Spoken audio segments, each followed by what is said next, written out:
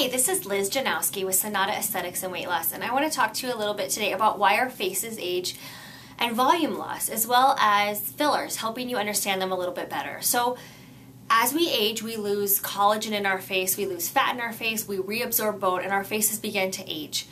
One of the biggest ways you can see your skin aging is by volume loss in your face. So, you may notice wrinkles, you may notice sagging brows, indented cheeks, sagging jowls down here, thinner lips. Those are all signs of volume loss. So, after age 35, we lose 5 cc's or about a teaspoon of volume from our face every single year after age 35.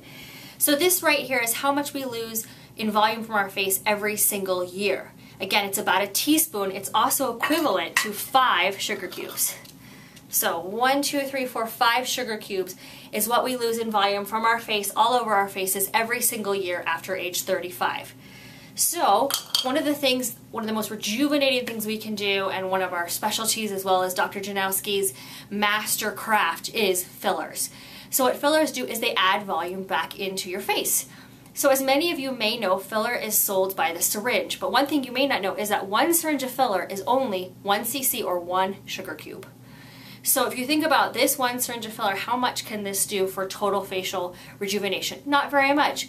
One syringe of filler, one cream may be able to correct under eye loss, may be able to give you some lovely lips, but it's certainly not just in one syringe itself going to give you total facial rejuvenation. So as another visual for how much one syringe of filler is, it's just this much product right here. Um, so fillers come in syringes, so here's a syringe right here. This is one cc of filler. Again, one syringe of filler. It looks almost looks bigger in here than it does as a and as a sugar cube than it does when you see the actual liquid that's being pulled out of the syringe.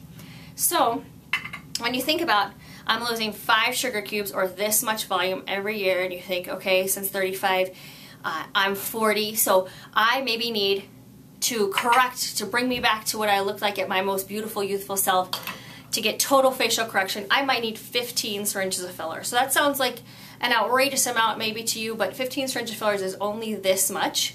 Some people come to us and do that much in one day, but many people do that much over time.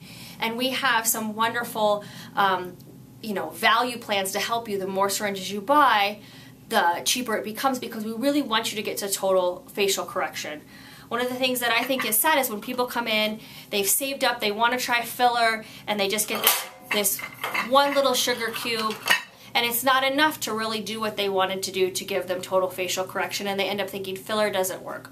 Well, the truth is filler does work. It depends on your injector, where they place it, and getting the correct amount to really match your expectations. So hopefully this has helped you understand some volume loss, how much is in that syringe of filler, and how much you might need to become your most beautiful, confident self again.